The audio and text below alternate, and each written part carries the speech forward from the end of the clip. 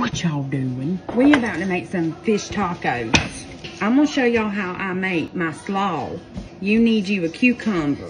And then you want two little tomatoes, a green cabbage, uh, purple cabbage. You know that man of mine likes some Everglades. So you you put a lot of Everglades on there for them man folks.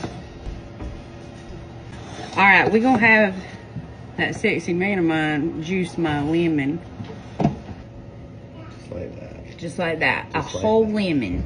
Okay, so uh, I ain't I ain't I ain't got no mayonnaise. I gotta make some right quick. Okay, egg, trolling motor, avocado oil, half of a lemon,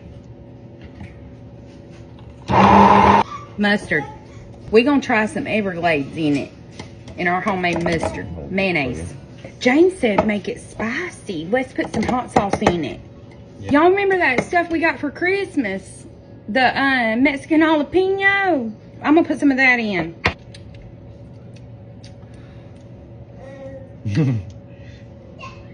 We That's just done best. something. The hot sauce is definitely here to stay. Now you take your um stuff, pour all that in there. But look at that. Mm. refrigerate this um, while you're getting your fish ready to cook, okay?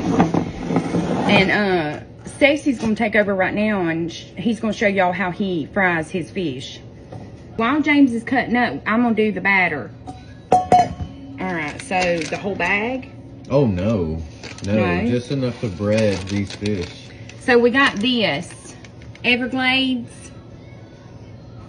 I'll do the Zatarain's fish fry, It's pretty half good. a cup.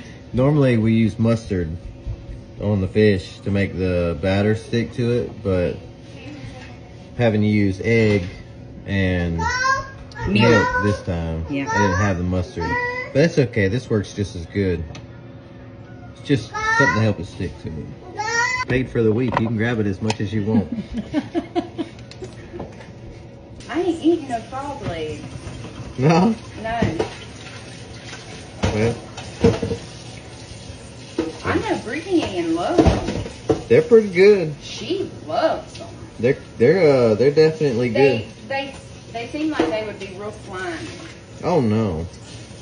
They're not slimy?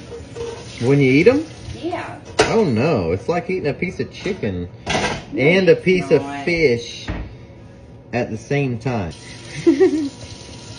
You gotta have you a prep cook in the kitchen. That's right. That's the key. Is you gotta have a real, real good helper who's actually in charge, but makes you think that you are, and keeps the whole show going, and keeps you oblivious the whole time. Kerrygold cheese. Oh, yeah. Oh yeah, that's the best. Oh, I love this cheese.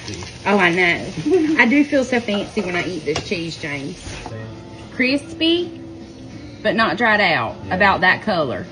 That's gonna be so good. Sorry. So sorry. Man. I'm gonna run Am into I in you. your way? All right, and then hey. your homemade slaw. Cheese. Out. Just making a mess. It's okay. Oh, that's all right. Stripping.